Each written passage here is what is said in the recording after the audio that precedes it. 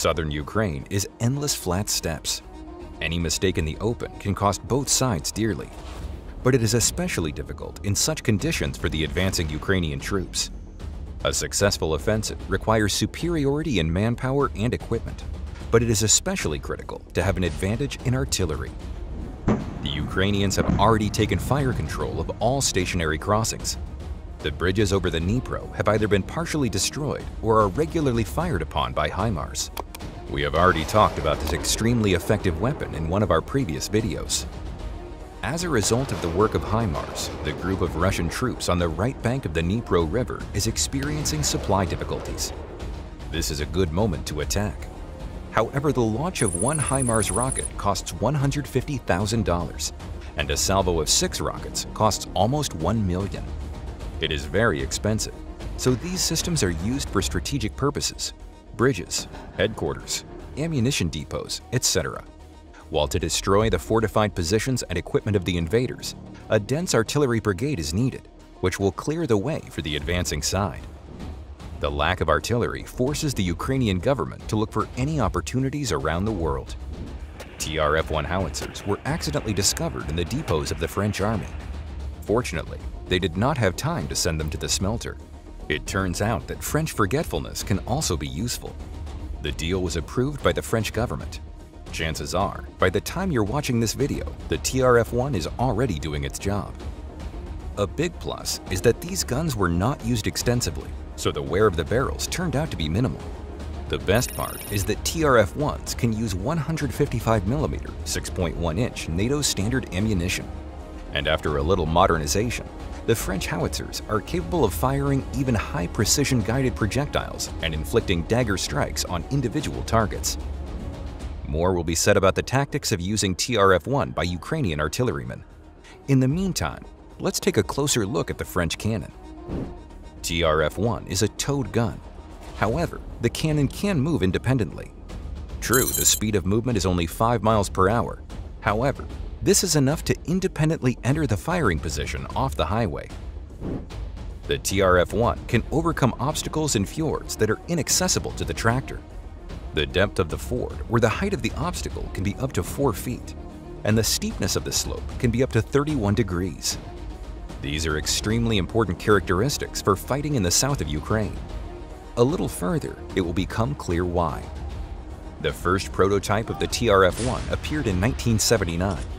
Between 1984 and 1993, 105 units were produced for the needs of the French Army, but after 10 years, the famous Caesar self-propelled gun replaced the TRF-1.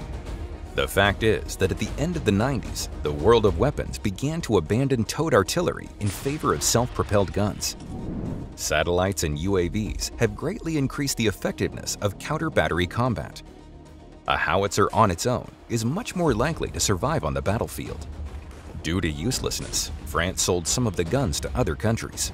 A total of 66 howitzers were sold, Saudi Arabia acquired 28 guns. Senegal bought 8 howitzers. Morocco 18 units. Cyprus 12. No more than 39 TRF-1 units remained in the warehouses of France, which were discovered by Ukrainian emissaries. Of course, the TRF-1 is far inferior to the British 777 howitzer, which is considered the gold standard among towed guns. These weapons are also used by Ukrainian troops. However, in terms of basic parameters, the French gun is no worse. For example, the TRF-1 has a rate of fire of 6 rounds per minute and a range of up to 98,500 feet. The range factor of the TRF-1 depends on the type of ammunition used. Approximately the same characteristics of the M777, which was nicknamed the Three Axes by the troops. What the TRF-1 doesn't have is a high-precision digital computer fire control system like the British towed artillery digitization. Such a smart system aims at the target using GPS and coordinates received from reconnaissance UAVs. Another disadvantage of the French TRF-1 is its large mass.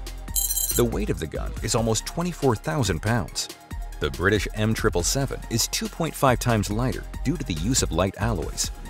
On the other hand, Modern materials have made the British towed howitzer the most expensive in the world. The price per unit is almost $4 million. The cost of the French TRF-1 in the prices of the 90s is an order of magnitude lower. And the decommissioned guns were completely sold to Ukraine for half the price. Most of the amount was paid for the modernization of the guns. The tactics of using TRF-1 in the southern direction of hostilities are as follows. Towed guns have limited off-road capability compared to their self-propelled counterparts. Therefore, over long distances, the TRF-1 is transported on public roads by a tractor.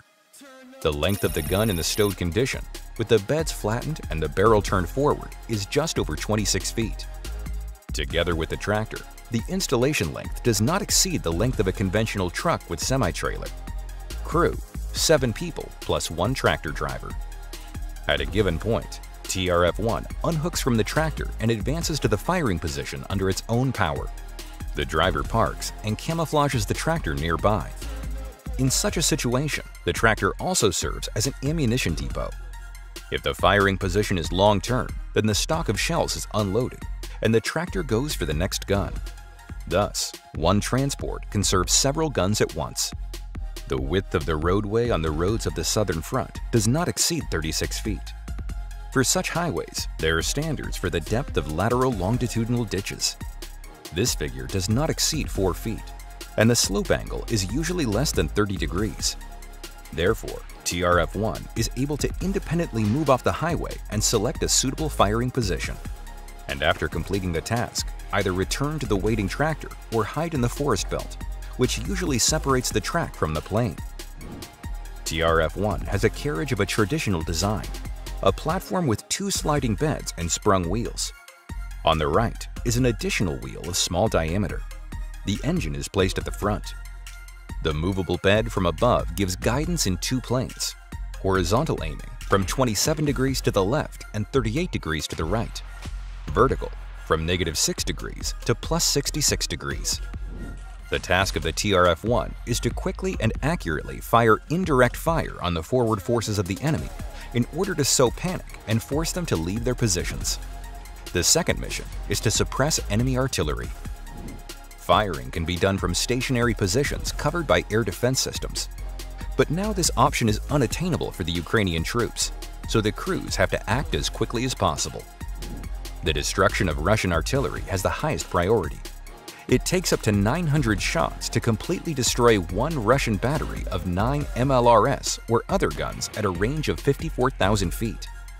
This is shooting with extremely high intensity. The ammunition load of one TRF-1 howitzer is 48 rounds. That is, one position must be worked out simultaneously by 19 TRF-1 combat crews. After that, the crews need to quickly roll up and leave their positions so that the counter-battery formations of the Russians do not have time to return fire. But if precision-guided munitions are used, then only 9 to 10 shells like the American Excalibur or the French Spacido will be required to destroy one Russian battery. The accuracy of hitting such projectiles is achieved, as a rule, through the use of GPS or other guidance systems. The use of high-precision projectiles reduces the number of civilian casualties and the scale of destruction of civilian infrastructure. For the Ukrainian troops, these are very painful issues because they are liberating their territory and their people.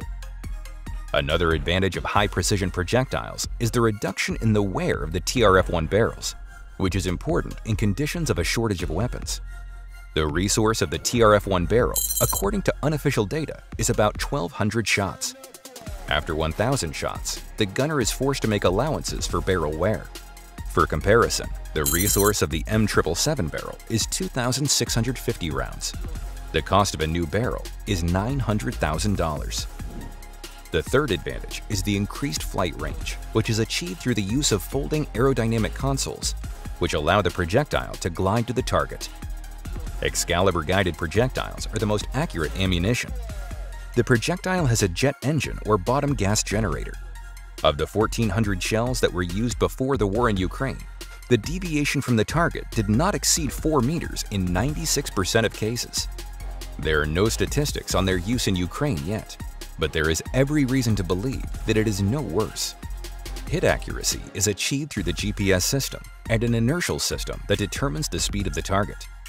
The cost of ammunition, according to open data, is 100 to $120,000. Spacido, System with accuracy improved by Doppler cinemometer. The system operates on a different principle.